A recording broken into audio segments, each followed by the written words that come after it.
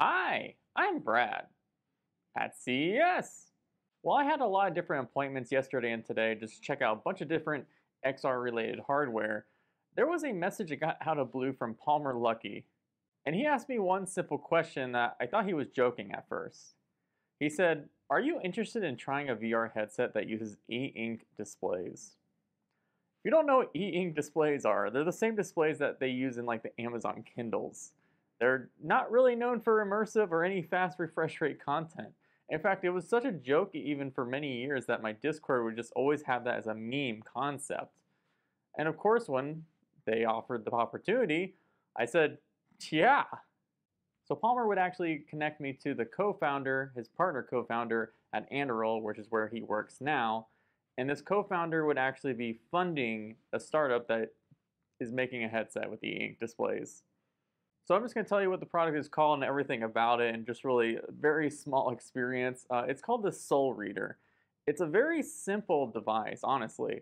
It's very light, it's under 100 grams, and it has 30 hours of battery life.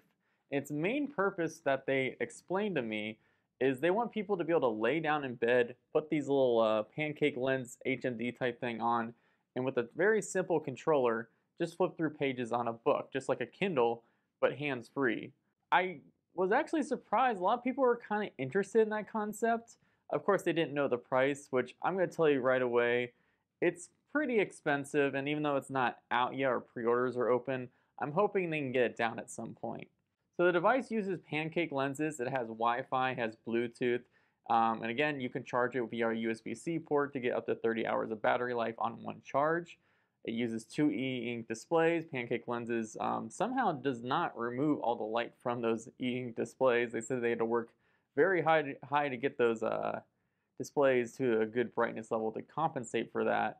But when you look through the actual lenses, it is a very square image, just like a book is like kind of floating in a dark space above you, or a Kindle tablet for that matter.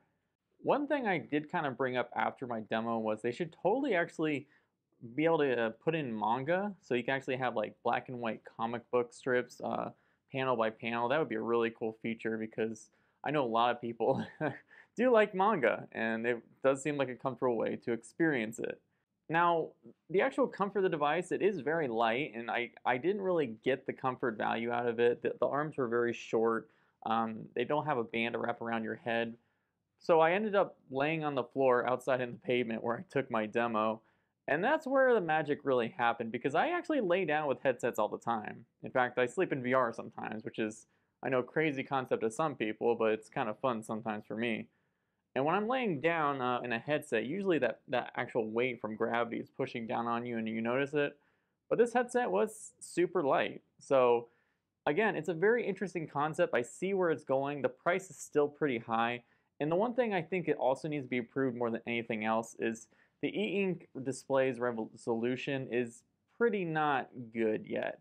Um, the, the, the partner I was talking about uh, did say that they were talking to the e-ink company here at CES, and they were saying that they might be able to get a hookup for much larger resolution displays, which I think is a very more important thing if they want uh, people to take this seriously.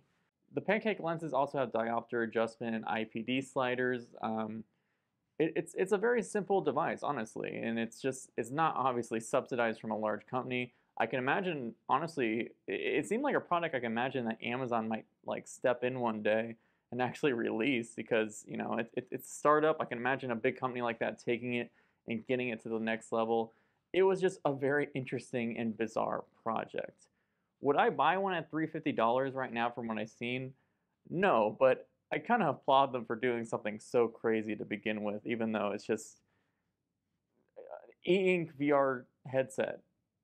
The final mention is I don't expect anyone to actually play immersive content on that. Uh, e-ink is known for having like one refresh rate thing. Maybe someone will get Bad Apple playing on one one day, but otherwise that was pretty much my experience with the headset. Thought it was a meme. It's real, and it does what it's trying to do. Yeah.